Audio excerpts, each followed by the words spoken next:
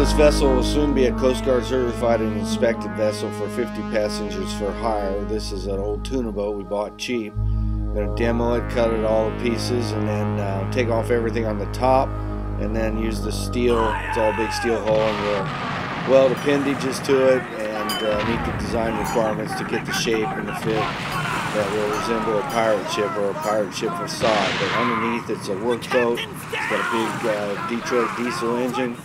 So we had to put all the wires, the wood, the seats, had to submit the plans to Coast Guard, have Coast Guard's inspectors come out and check it from top to, and then we have to do stability tests, but when it's all said and done, it's going to make some money in Mission Bay.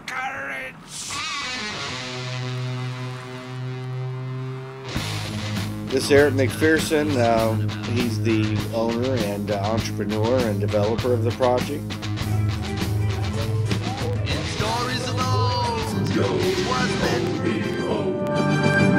Secrets that sleep with old Davy Jones. Yo, oh, ho, heave ho.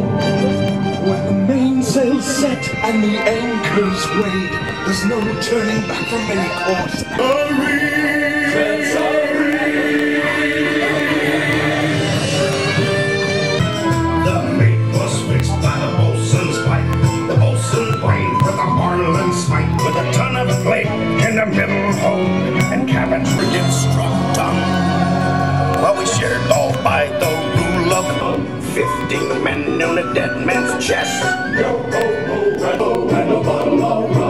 Fifteen men on a dead man's chest.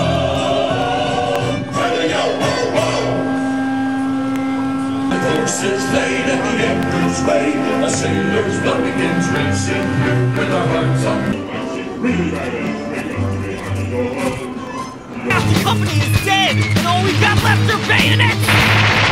There's only one weapon you're always armed with, soldier. Come on, let's see!